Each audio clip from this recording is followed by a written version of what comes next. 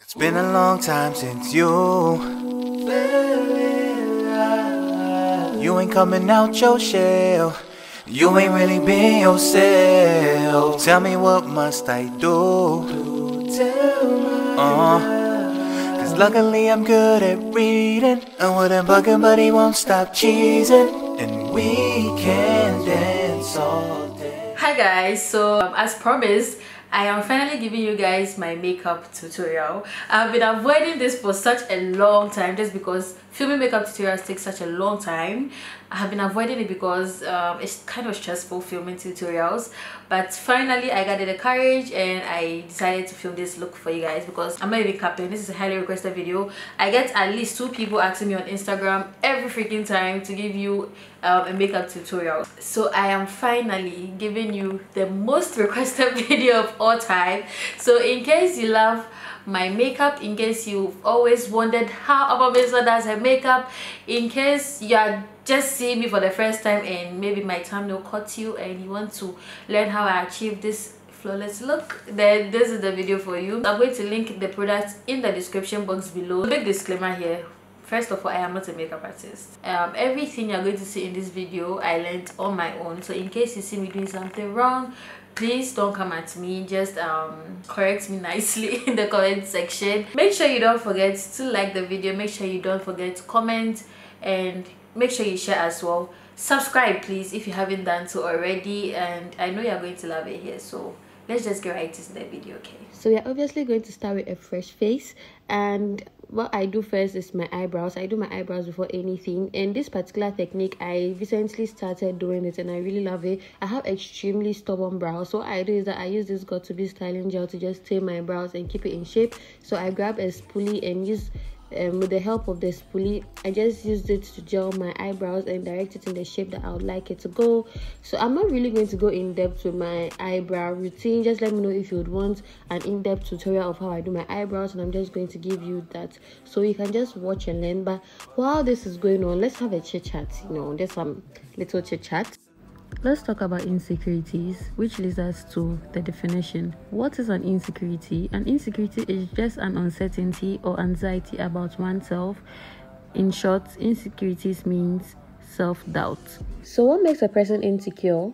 Most of us feel extremely insecure sometimes but some of us feel um, insecure most of the time. And you can be insecure due to the kind of childhood that you had your past traumas recent experiences of failure loneliness social anxiety negative beliefs about yourself or having a critical parent so growing up, I had issues with uneven skin tone. That is my dark underarms and my dark elbows, and I naturally have a dark neck.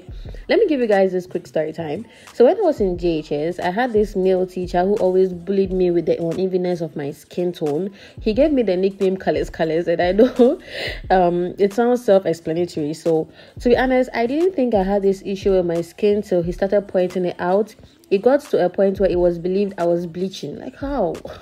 I was young. How how will I be bleaching at that young age? I don't know if people used to bleach at that young age, but to be honest, at that age, I didn't even know what bleaching was. It made me self conscious and insecure. I never felt comfortable wearing strapless tops and these spaghetti tops. You would never see me with my arms out, to be honest. You would never. Look at me being vulnerable for you guys today. To think that I've never been a type of person to talk about these things, but I decided to talk about this just because I get some of you asking if I ever feel insecure and how I deal with insecurities. Yes, I do feel insecure sometimes, but I never make my insecurities define me. Look at yourself in the mirror and speak positive words to yourself to help boost your confidence. Don't let what others think about you make you have self doubt. That's just making them control your life emotions and, most importantly, mess with your mental health. And you don't want that. Mental health is very important, okay? So, anytime you're insecure, remember what I just said. Look at yourself in the mirror and speak positive words to yourself. Just look at me today. Who would have thought that I'll be comfortable with my arms out without being self conscious about my pigmentations? I used to think it was a big problem we needed some fixing, but with the help of Jackie Aina, I found out that it is totally normal to have pigmentation as a black girl. Listen, you have been criticizing yourself for years and it hasn't worked for you. It didn't work for me either. Try approving of yourself and see what happens. Enough of the chit chat. Let's get back into the tutorial my next step is to prime my skin and I'm using the Maybelline Baby Skin Instant Pore Erasing Primer.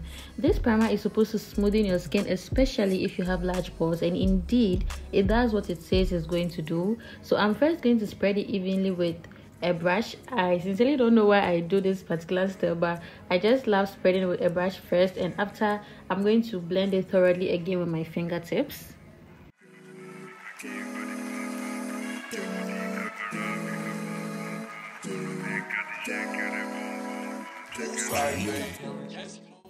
I'm now going to spot correct with my LA Girl Pro Conceal just to prevent my dark spots from peeking through my foundation.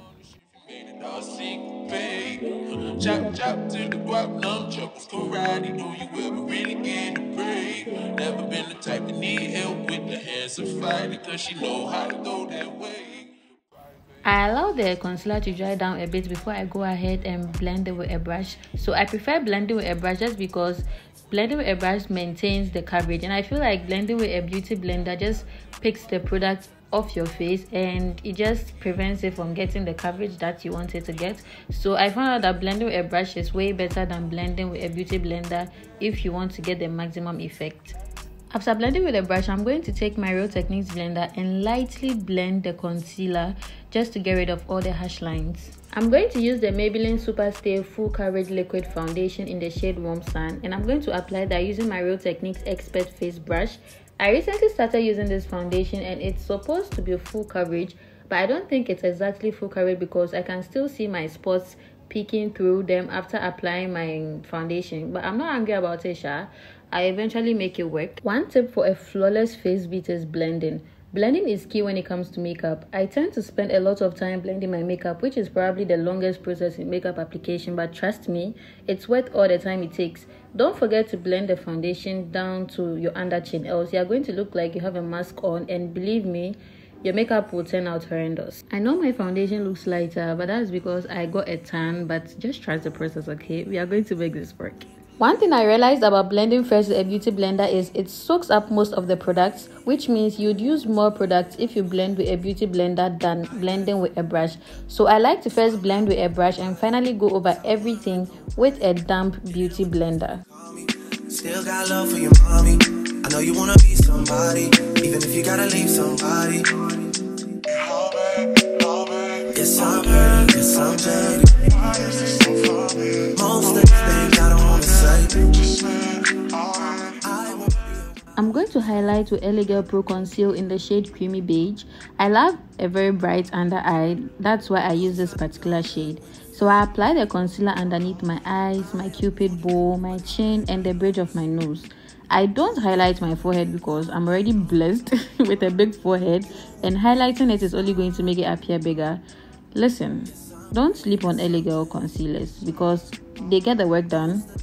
But not gonna lie, there are a lot of fake ones on the Ghanaian market, so just make sure you get them from the right source. I'm going to blend the concealer out using my Real Techniques Deluxe Crease Brush I used to be a beauty blender type of girl till I switched to brushes, and my oh my, my makeup game went to another level. But what I do first is I allow the concealer to dry down a bit before I blend it out.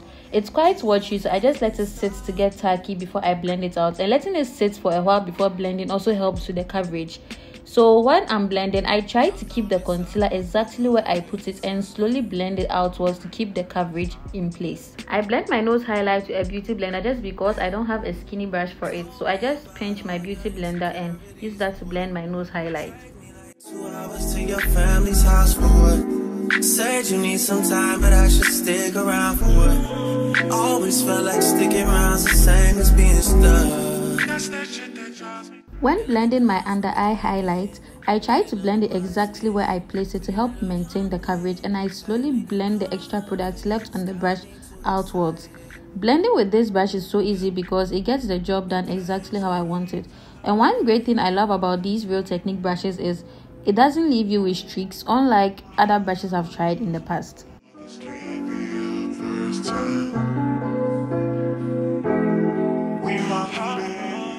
What did I tell you about LA Pro concealers? Just look at how smooth and flawless it turns out. Don't sleep on these concealers at all.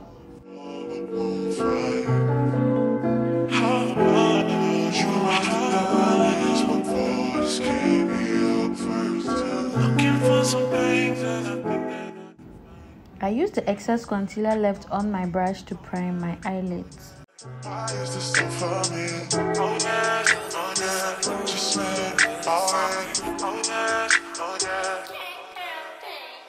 You wanna get with me, stop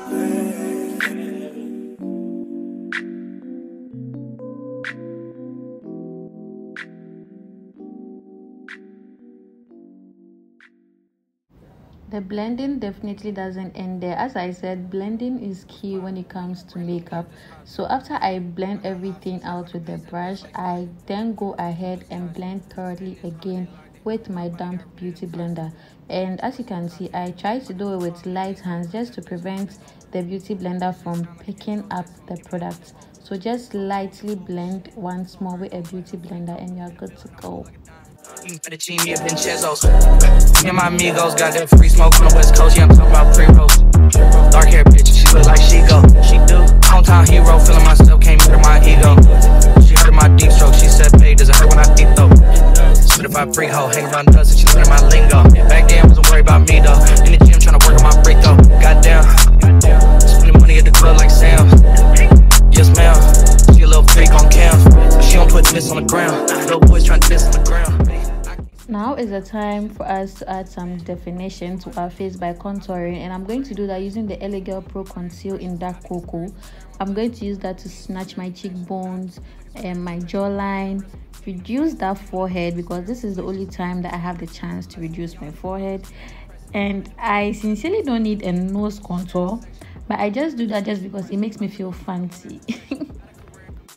I don't know what brush this is, but it's just a regular flat dense brush and I'm going to use it to blend my contour. One tip when it comes to blending your contour is to blend upwards to help lift your face and give you that snatched cheeks that you want. My jawline also gets some contour just to prevent a demarcation between my makeup and my actual skin. You get it? If you don't get it, forget about it. I know I'm looking kind of crazy right now, but just trust the process, okay? Trust the process as you can see after blending my contour it just leaves me with harsh lines. So i'm going to get rid of all those harsh lines and just get a uniform look by going back with my foundation brush and blend everything together get rid of all those harsh lines. And after blending with the foundation brush i'll just go back in with my beauty blender and go over everything one more time just to achieve that flawless blend. As i said blending is key. It takes up most of the time but it's definitely worth it. So no matter how long it takes you to blend your makeup just do it to achieve the flawless beat that you want.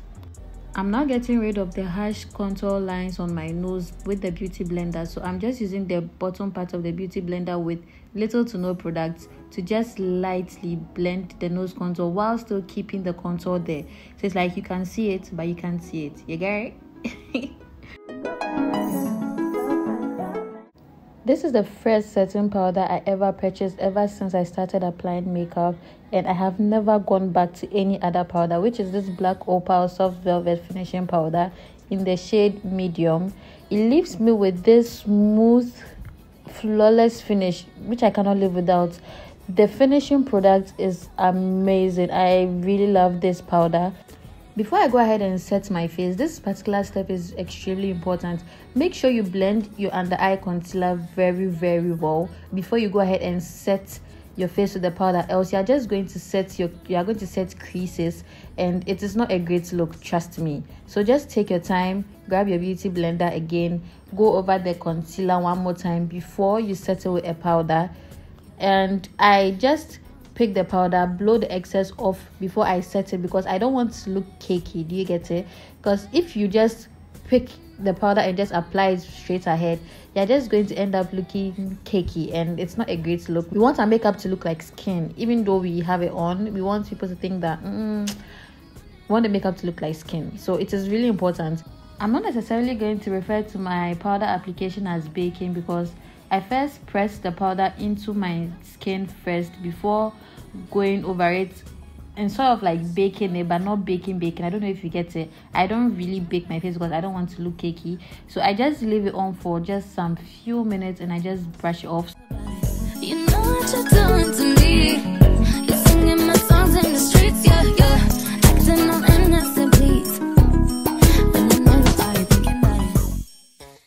now time to set our contour and I'm going to do that using the Fenty Beauty powder in the shade Nutmeg and I use this dense brush to just set my contour.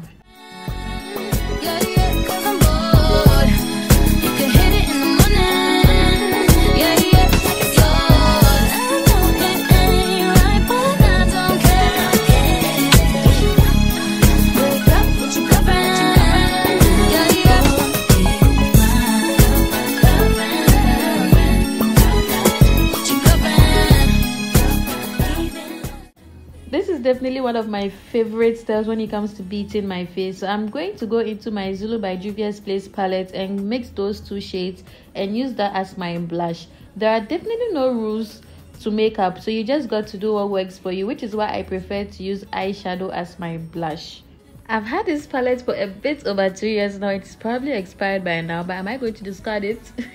no, it gets the work done, so I'm still using it anyway uh, as you can see, I've already hit the pan because I love those two shades in it so much. I love a cute splash nose, so my nose is not exempted. I'm finally going to carve out my contour with my powder just so we look more snatched. You get what I mean?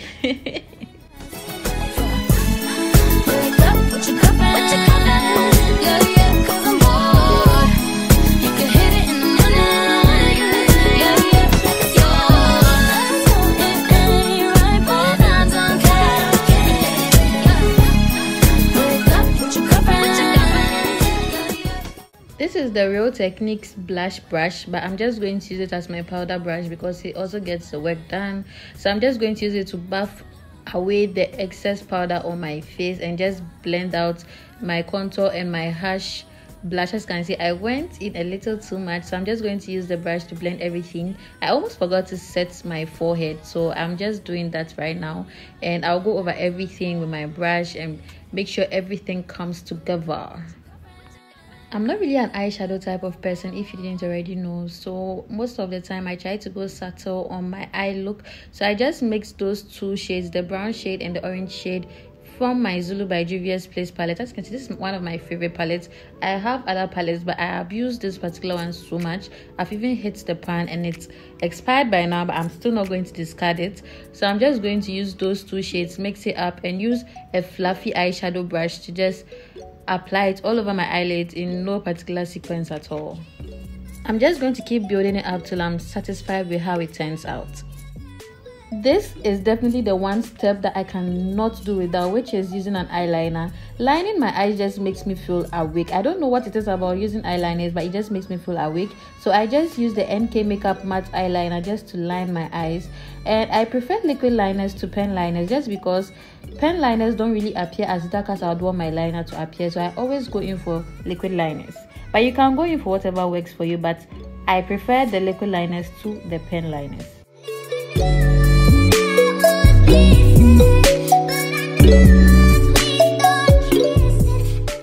It's officially time to highlight our features because I love a good glow. So I'm going to use this Wet n Wild MegaGlo Highlighting Palette and I'm mixing those two shades just to highlight my cheeks, the bridge of my nose, the tip of my nose and I love highlighting my chin as well and in between my forehead. I don't know why I do that but I love doing that. It's just my personal preference. So it's not mandatory to do it. You can choose to do it and you can choose to leave it out. And i'm also going to highlight my inner corners as well with the tip of my finger. I don't really know what mascara this is but once i find out i'm going to let you know. But i'm not really big on using really expensive mascaras because i feel like they all do the same thing. So I just go in for any type of mascara at all because you definitely achieve the same effect. I don't really do too much to my lips. Um, I love my natural lip color, so I just like to keep it just the way it is. So I just grab a wet wipe and wipe off any product off my lips. I grab this regular pencil. This pencil is inexpensive. It costs less than a dollar. And I just use that to line my lips. I don't overline. I just love to follow my natural lip shape and just go over it. So after i line my lips i just grab a regular clear gloss and go right on top of it. But before i apply the gloss i make sure i blend the pencil with my finger because you're going to look crazy if you just leave the lines there just like that. Do well to blend it out with your finger before you go ahead to apply your clear gloss on top of it the final step is to set my face and I do that using the Wet n Wild Photo Focus Matte Finish Setting Spray. I dropped my setting spray once and for some reason it stopped spraying correctly so I just have to keep pulling it to spray which is a bit of a hassle but I'm not mad about it. It still gets the work done. I fan my face to help make the setting spray dry down a little bit and then I go over it once more with a beauty blender just to evenly distribute the setting spray over my face. I learned this particular trick on TikTok and it works. It really works.